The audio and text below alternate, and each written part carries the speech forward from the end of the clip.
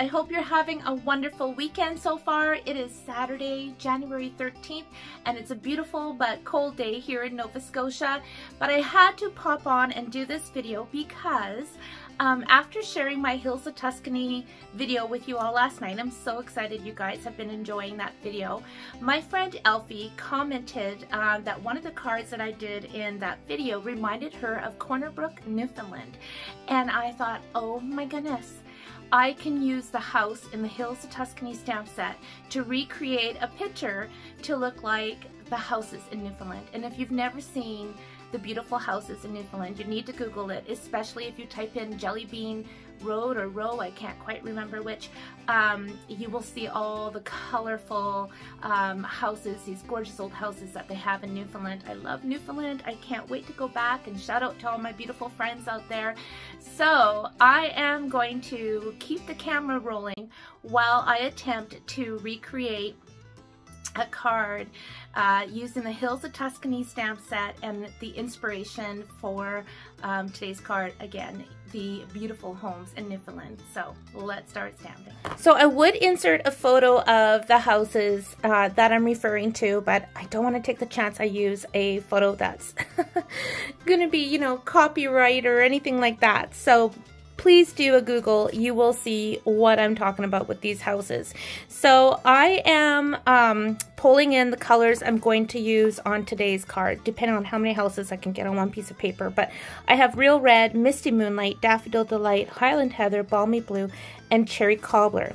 Now, I also sent my Serene Stampers team, my stamping community, um, a stamping challenge today using color combinations because I already had this in my mind. So they could use all of these or at least three colors from, from this um, assortment of colors. And I sent them a card sketch. But I've gone ahead and cut out my um, pieces of paper for the card sketch. So I'm going to use Highland Heather. This measures four and a quarter by five and a half when folded. I've pulled in some meandering um, Meadow Designer Series paper. This measures um, three and three quarters by five. Piece of basic white. This is two by four. Um, a scrap piece of the Meandering Meadow DSP. This is one and a quarter by four. And then the circle on the card was about one and a half inch diameter. So I also used a scrap piece of DSP. Nothing goes to waste. So this is the piece that, uh, this 2x4 that's going to have my houses on it. So fortunately, it's a small house. So I think I can fit, hopefully, six houses on here. All right, so I have my 2x4 piece of basic white. And if you look at the, um, the houses in Newfoundland, a lot of them, especially the ones that I want to recreate, are three level. So this is a two level house. I want to make this a three level house. I'm going to start with my real red. And I'm going to put a piece of scrap paper underneath because I'm going to stamp off on the edge first. And I'm actually going to stamp this oh, off the edge, don't forget, right there. And then I'm going to bring my post-it note and I'm just going to line it up at the corner of that house. So I can line it up and I am going to, that post-it note is going to come across the, the edge of this bottom roof. So underneath this top layer of windows. At least that's, that's the plan.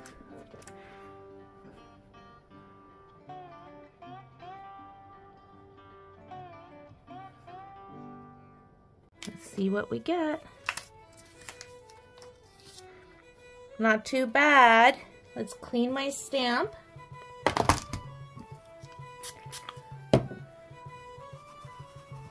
Try it.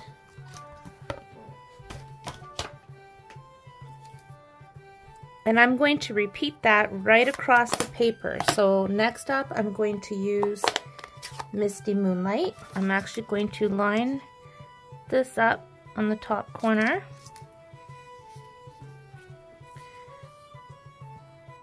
Stamp my blue house right next to it.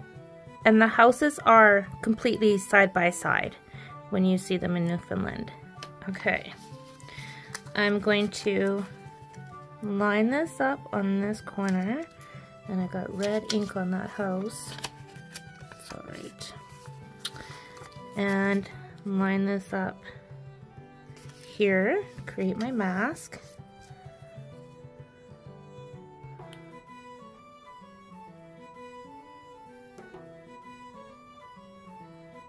It's always exciting when you take off the masking paper to see what you get. Ooh, it's coming together. Okay, I'm gonna clean my stamp. The next color I'm going to use is Daffodil Delight, which is right here.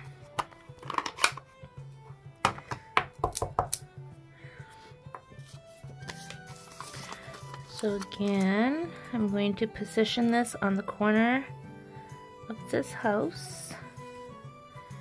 Make this up really well.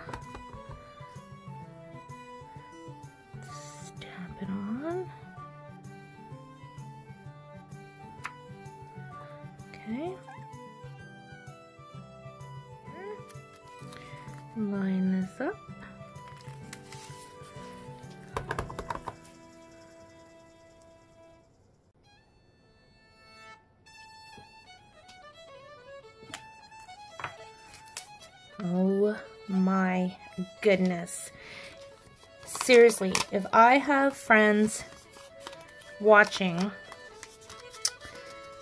who have been to or do live in Newfoundland, I bet you this is kind of exciting you a little bit because it's sure exciting me.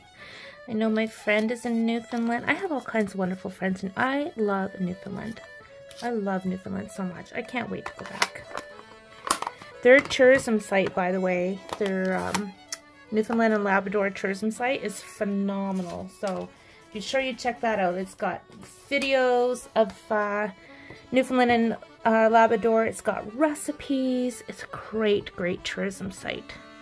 Which, by the way, for those of you who don't know, that's actually my background is tourism and hospitality. Um, I love that industry.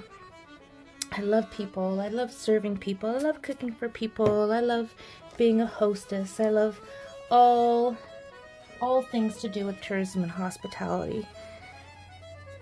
And uh, I loved working in that industry. All right, okay. Let's move this down. Not going to be able to get all the colors in here that I wanted to, but that's okay.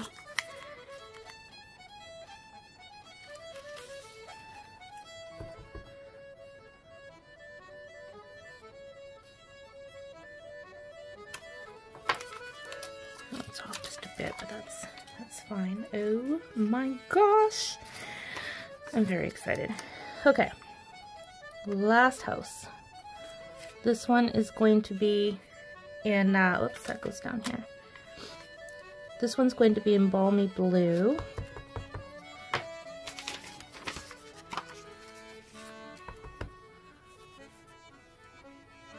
And I'm actually going to pull this one down just a little bit.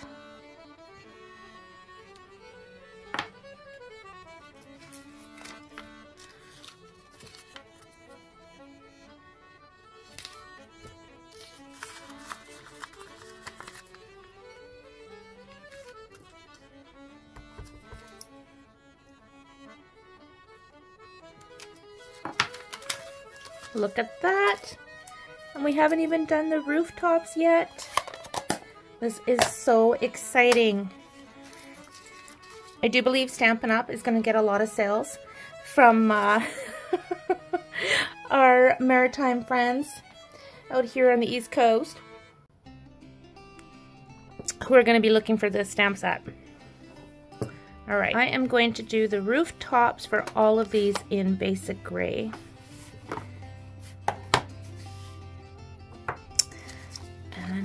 Going to start on this side and I'm going to keep using the mask.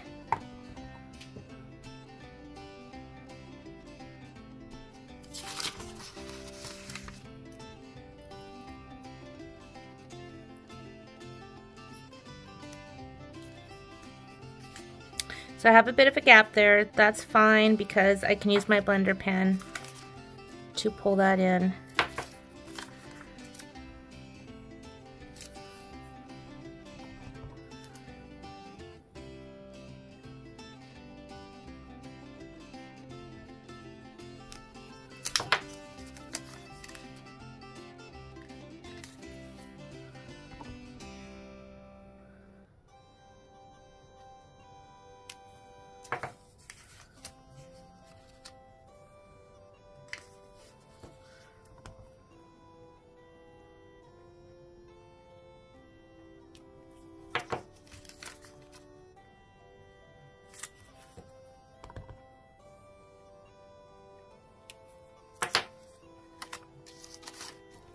Oh my goodness.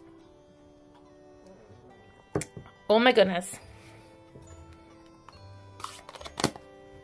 All right, I am going to use, actually I need this back. I'm going to use my blender pen versus the basic gray marker just because it's a little bit lighter. I'm just going to fill in that gap.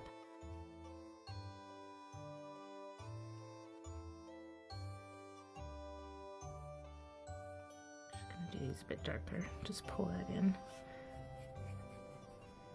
If you don't have blender pens, my friends, they're they're a must-have. They're wonderful. You can do so much with them.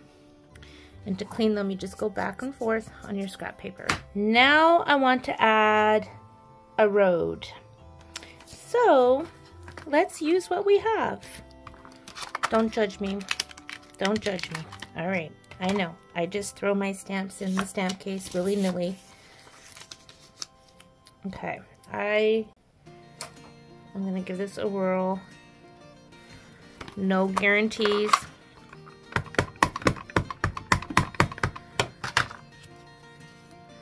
going to stamp it right here. And hmm, Mm-hmm. how are we going to do this? How are we going to do this? Let's turn it this way.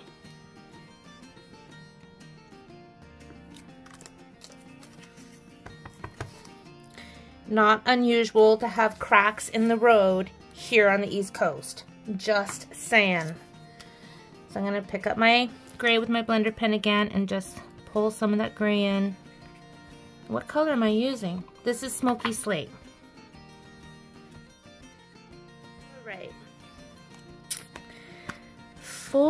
The windows, I'm to, actually I'm just to grab my black marker. Hang on.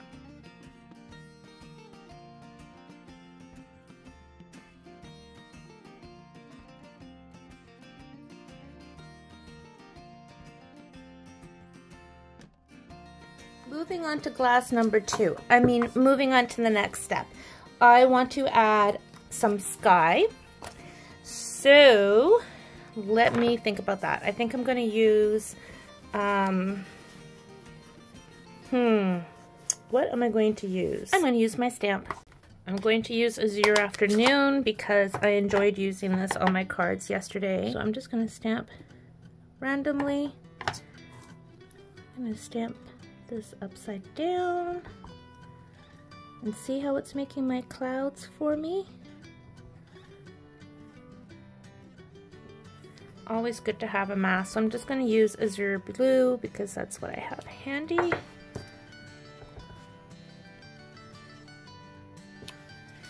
And cut that out.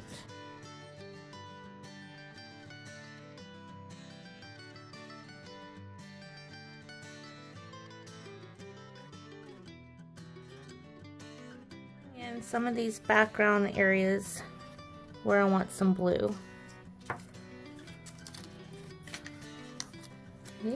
Gonna do something, hopefully it doesn't muck it up. But I'm gonna take some of my white ink refill. I'm gonna squeeze it, or you saw me squeeze it on my um, clear block. I'm gonna take in my smallest water painter. And I mean, you could keep the, uh, the black windows as they are.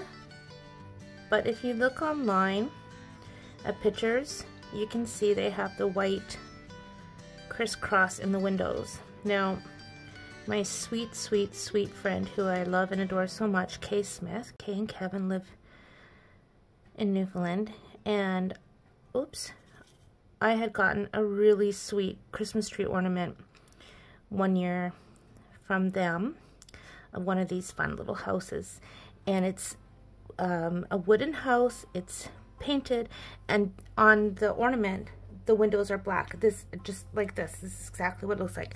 But I'm going to try, as if I were painting on, I'm going to try adding the white. And I have way too much ink and water on here, but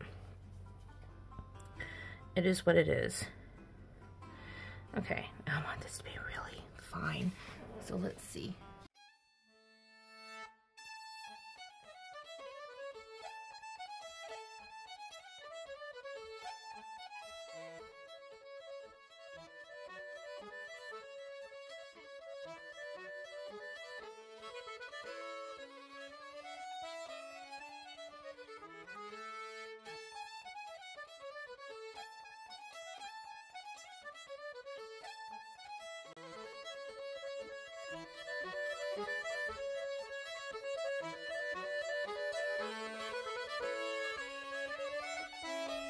Okay, I'm going to sponge around the edges. I am going to use my Azure Afternoon.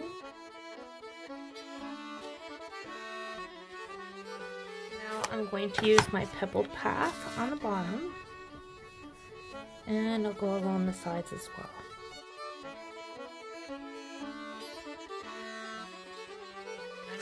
putting my designer series paper onto my Highland Heather cardstock.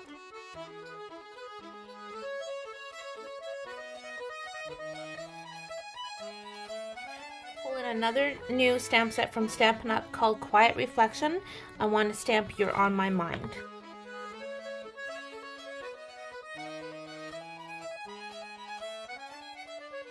I'm going to sponge around the edges of this as well with the basic gray. Keep this card colorful. I am using Real Red ribbon for my bow. Some of you have seen me do this type of bow before. It's actually kind of a knot, but it's so cool. So I'm bringing in my Stampin' Spritzer and I'm just tying a knot right on this. And whoops, I'm to make that really tight. Whoops.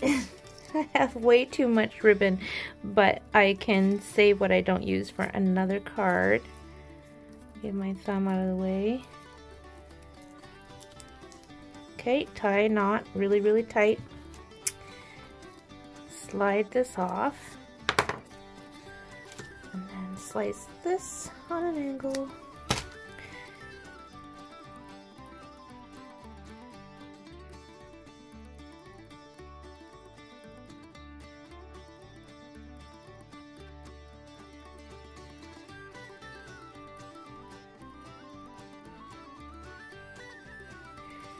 And all that's missing on this card are birds.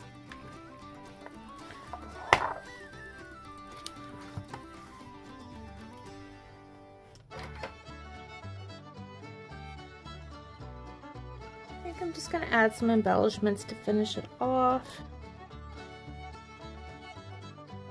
I decided I really want to move this over here just a little bit. More in the center of that tag. So there you have it, my Jelly Bean Row Newfoundland card. I cannot tell you how tickled I am with this card. How tickled I am. So many different ideas. Again, I always say that in my videos, but I get more and more ideas as I put it together. And I want to use this with a seaside background um, instead of the designer series paper. I want to use this with just a plain wood grain background. Um, I know I'm going to be making a lot of cards using this as a focal piece and I can't wait to make more of these. So thank you so much for watching friends. I hope you enjoy the rest of your weekend and may your glass always be half full. Take care and happy stamping.